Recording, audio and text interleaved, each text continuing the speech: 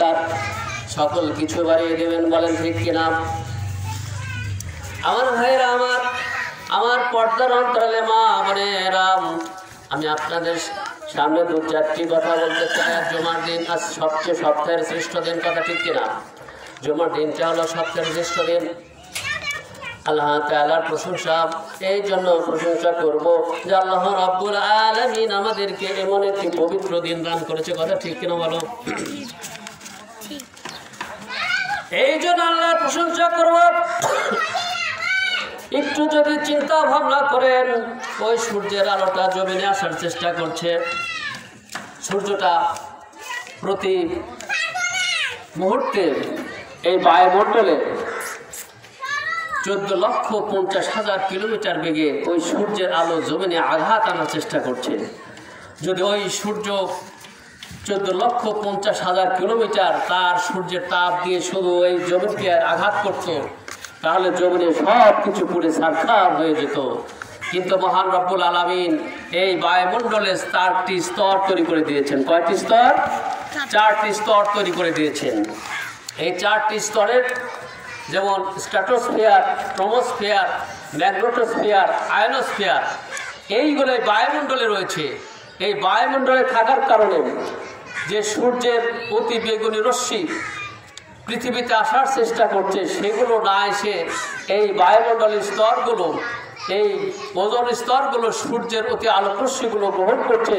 মাত্র এক ভাগ সূর্যের আলোটা পৃথিবীর বুকে আসে এবং যার ফলে এই পৃথিবীর মানুষ সব কিছু জীব, জন্তু, সব, সকল কিছুই সেই সূর্যের আলোতে আলোকিত হয়ে জীবন ধান করছে, তারা চলাফেরা করতে পারছে।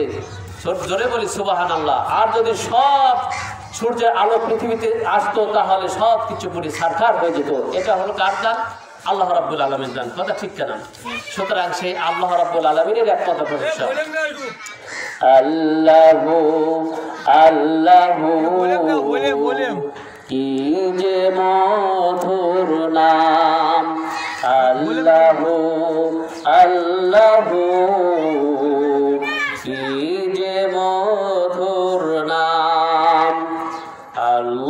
Oh.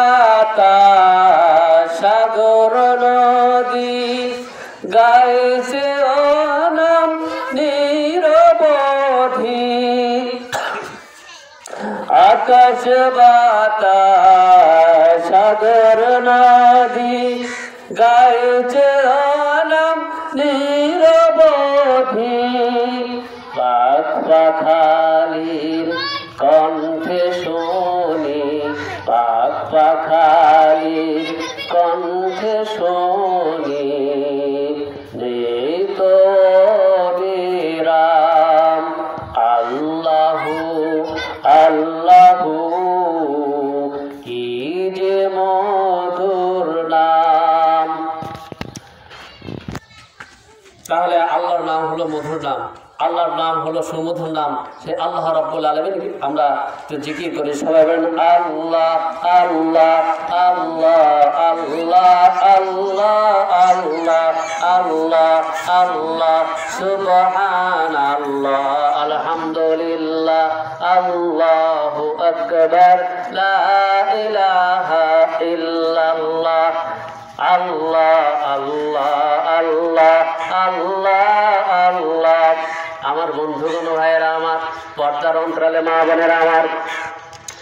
আমার মা বোনেরা, আল্লাহ রাব্বুল আমাদেরকে সৃষ্টি করলেন। সুতরাং মা বোনেরা, একমাত্র ইবাদত করতে হবে কার? জোরে বলো কার? আল্লাহ। সুতরাং আমরা যখন কোনো কাজ শুরু করব, আপনারা যখন কোনো কাজ শুরু করবেন, তখন বলেন বিসমিল্লাহ। তাহলে আমরা ঘরে কাজ করে আমাদের মা বোনেরা, তারা যখন কাজ শুরু করবে, সকল কাজ শুরু করার আগে আল্লাহর নাম দিয়ে শুরু করবে। এখন তো ঘরে ঘরে আপনার টেলিভিশন কিরণমালা আপনার ভারতের সিরিয়ালগুলো দেখে দেখে মা বোনেরা সলাদ নামাজ, কালাম সব কিছু ভুলে গিয়েছে। এটা কিন্তু মুসলমান হিসেবে মা বোনদের এটা উচিত নয়। তাহলে সকল কাজ আমরা যখন শুরু করব, তখন কি বলব? বলো, কি বলব?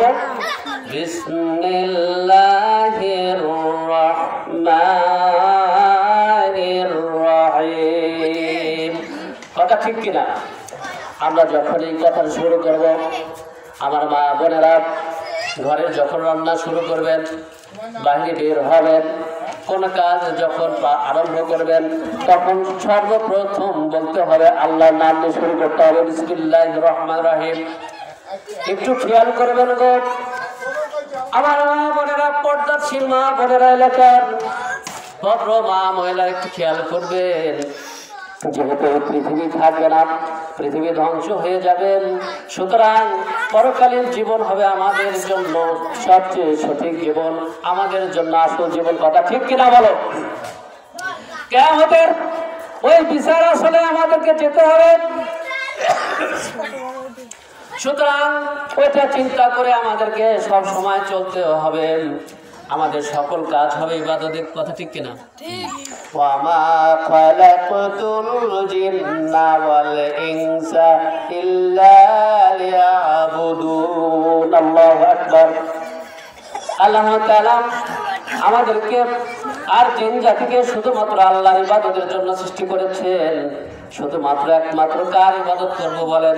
একমাত্র আল্লাহর ইবাদত করব। সুতরাং আমরা কোনো কাজ যখন শুরু করব তখন কি বলব বলেন? আবার আমরা সমস্যাটা বলেন কি বলব বলেন? বিসমিল্লাহির রহমানির রহিম। মা বোনেরা আপনারা যখন কোনো কাজ শুরু করবেন তখন বলবেন বিসমিল্লাহির রহমানির রহিম। তাহলে আল্লাহ তাআলা বরকত দিবেন। কথা ঠিক কিনা? ঠিক। বিসমিল্লাহির রহমানির রহিমের উনিশটা অক্ষর রয়েছে। উনিশটা অক্ষর রয়েছে। আর একটু যদি চিন্তা করেন সায়েন্স একটু যদি গবেষণা করেন তাহলে খেয়াল করবেন এই দিন দিন রাত চব্বিশ ঘণ্টা কয় ঘণ্টা? চব্বিশ। ঘণ্টা। দিন রাত হলো চব্বিশ ঘণ্টা। তাহলে আমরা যদি পাঁচ ওয়াক্ত নামাজ পড়ি, তাহলে পাঁচ ওয়াক্ত নামাজের মধ্যে থাকল।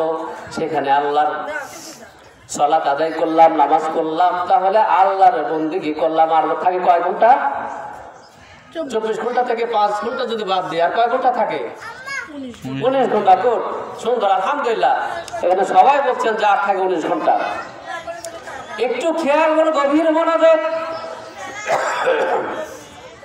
এই উনিশ ঘন্টায় যদি আমরা যে কোনো কাজ করি, বাড়ি থেকে যখন বের হবেন আমার আম্মা জারেরা শুধু নয়, ভাইয়েরা, আমার বন্ধুগণ, যখন আমরা বাড়ি থেকে বের হব, যখন পা দেব, তখন তাওকাল তো আল্লাহ জোরে বলে সুহান আল্লাহ যখন আমরা বাড়ি থেকে বের হব তখন বলব, আল্লাহর উদ্দেশ্যে বের হলাম। বিসমিল্লাহ রহমান রহিম, বের হলাম। আমার আল্লাহ নবী বলেন, যদি আল্লাহর নাম নিয়ে বের হওয়া যায়, তাহলে ওই কাজটা আমার আল্লাহর ইবাদতে পরিণত হয়ে যায় বলে বলেন সুবাহান আল্লাহ অতএব আমরা বেশি বেশি করে মা ঘরের মা বোনেরা বিসমিল্লাহ রহমান রহিম বলে আমল এই আমলটা করব। আমরা আমরা বেহায়া বেলাল্লা পোনা সকল খারাপ কাজগুলো ছেড়ে দেব। ভিতরে আপনারা কিরণমালার সাহায্যে না বসিয়া বরং আমরা সকালে কোরআন টানিয়ে বসবো, কথা ঠিক কিনা? সকালে কোরআন চালিয়ে বসবো আর এই কোরআন, সুন্না, এগুলো শিক্ষা দিয়ে থাকেন। যারা নাকি আল্লাহকে বেশি ভয় করেন, এই জমিনে যারা আল্লাহকে ভয় করেন, আল্লাহর দেওয়া কোরআন অনুযায়ী চলেন। আল্লাহ মানুষদের সাথে যারা আল্লাহর বলি যারা যারা নাকি এই জমিনে কোরআন, সুন্না মাফিক চলেন, তারা আল্লাহকে বেশি ভয় ভয় করেন কথা ঠিক কিনা? সুতরাং আমার মা বাবারা যখন আমরা কাজ শুরু করব, তখন আমাদেরকে সকল কাজে বলতে হবে বিসমিল্লাহ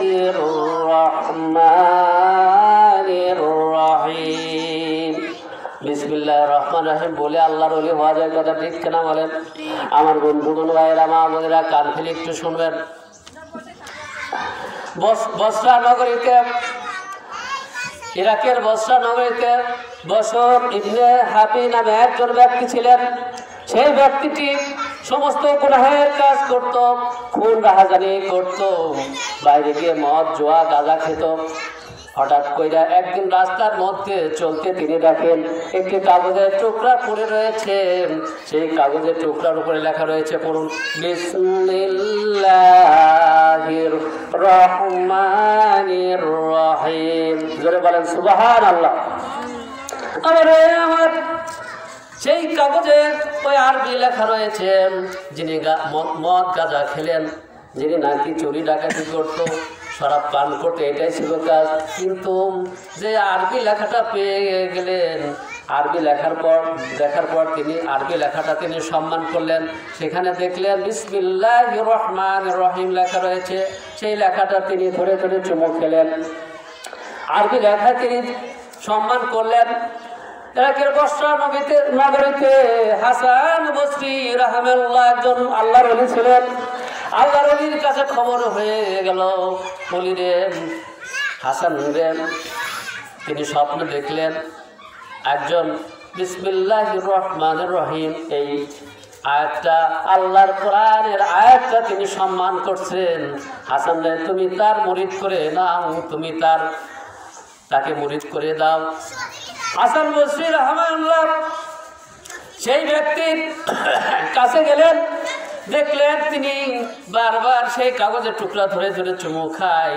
অথচ তার মুদের, তার তখনও শরাবের তার তখন সেই তিনি যে শরাব খেয়েছিলেন, আপনার যত খারাপ কিছু খেয়েছিলেন, সেগুলোর ঘোর কাটে নাই, অথচ সেই আল্লাহর কোরআনে আয়াতটা ধরে ধরে তিনি চুমু খাচ্ছেন। হাসান রহমউল্লাহ তাকে কাছে ডাকলেন এবং বললেন, তিনি পড়ে দিলেন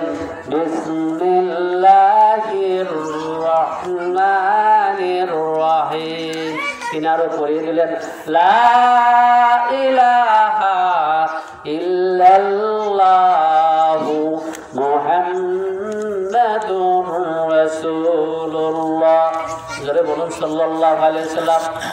তাহলে বোঝা গেল যে আল্লাহর অলিদের সংস্পর্শে আসলে আল্লাহর অলি হওয়া যায়। কথা ঠিক কিনা?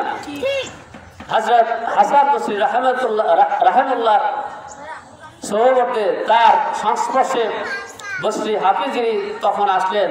তিনি আল্লাহর অলি হয়ে গেলেন, বলেন সুবাহান আল্লাহ সুতরাং এই জমিনে যারা আল্লাহ লোক, যারা এই জমিনে আল্লাহকে ভয় করেন, আমরা তাদের সাথে চলবো। কথা ঠিক কিনা? আল্লাহ রাব্বুল আলামিন বলেন, ইন্নামা ওয়ালিউকুম আল্লাহু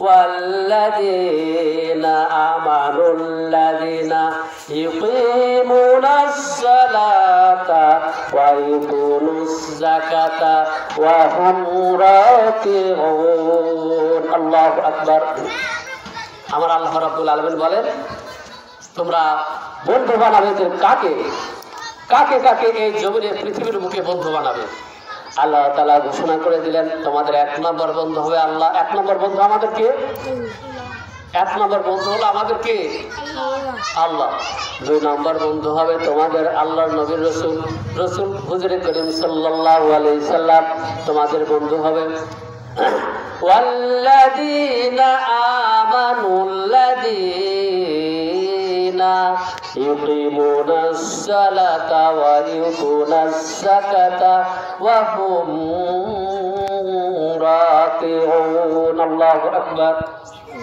এরপরে আল্লাহ রব্বুল আলমিন বলছেন যারা নাকি আল্লাহকে ভয় করবে আল্লাহর নবীকে ভয় করবে যারা এই জমিনে যারা আল্লাহকে ভয় করবে কোরআন অনুযায়ী চলবে আর তাদেরকে তোমরা বন্ধু বানাও তাহলে আল্লাহ অলিরা বলেন আল্লাহকে ভয় করে কিনা আল্লাহ যারা অলি তারা আল্লাহকে ভয় করেন, রসুলকে ভয় করেন। সুতরাং আল্লাহর অলিদের আমাদেরকে বন্ধু বানাতে হবে। কথা ঠিক করা বলে?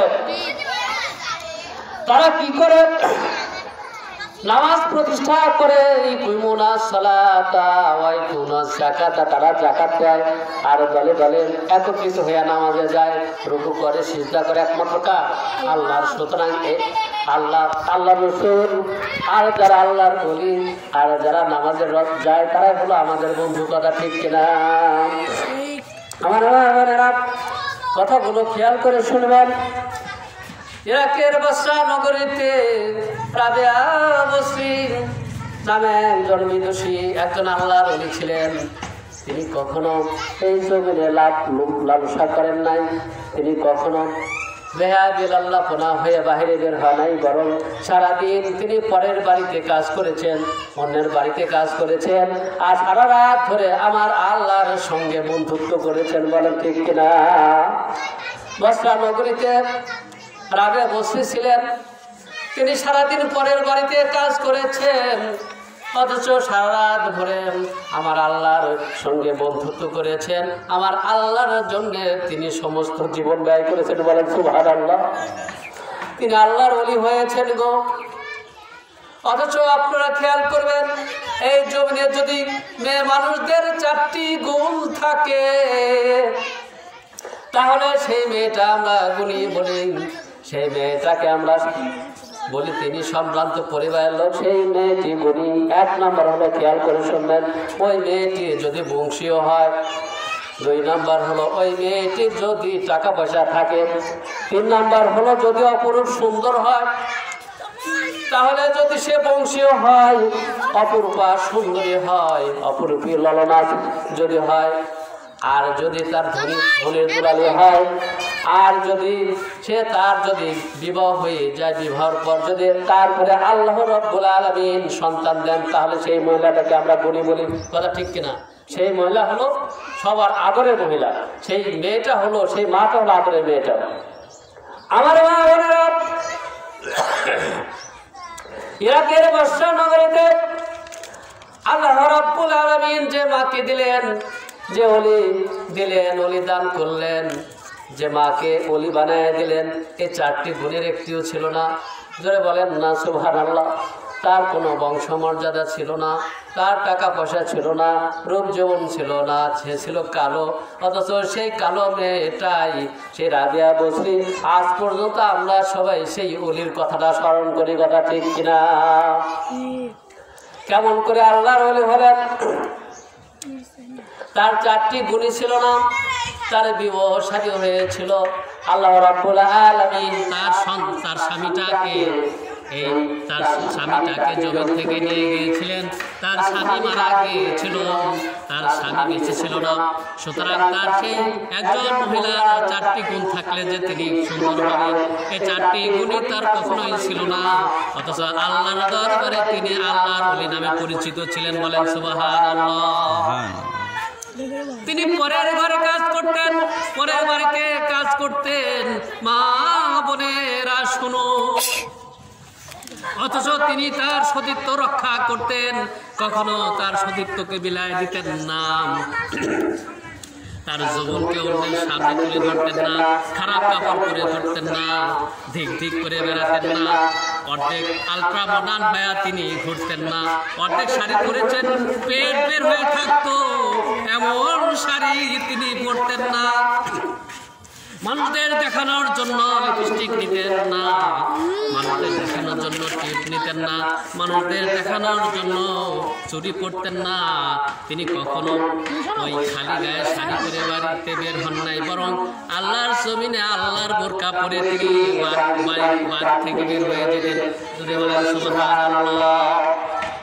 আমার মা খেয়াল করুন তার তিনি নিঃসন্তান ছিলেন যৌবনে তার স্বামীটা মারা গেলেন দুঃখ ভারাক্রান্ত নিয়ে তিনি আল্লাহর ঘরে ইবাদত করতেন সারাক্ষণ আমার আল্লাহকে ডাকাডাকি করতেন আমার আল্লাহকে ডাকতেন বলতেন আল্লাহ সবাই বলুন আল্লাহ আল্লাহ আল্লাহ আল্লাহ আল্লাহ আল্লাহ আল্লাহ আল্লাহ আল্লাহ আল্লাহ ইলাহা ইল্লাল্লাহ লা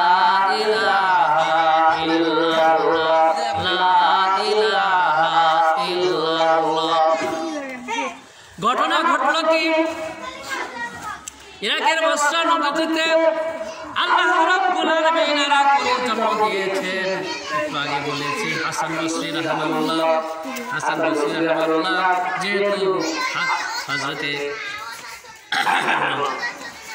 আপনার যিনি আল্লাহর আলী ছিলেন বস্ত্র